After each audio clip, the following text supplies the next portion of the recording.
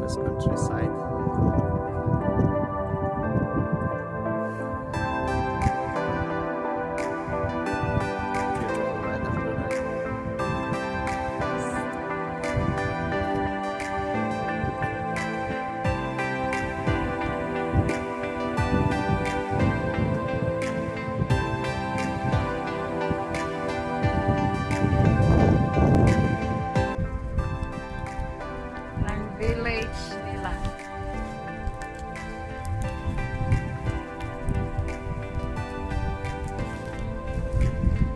Dito kami sa tuktok ng mundo.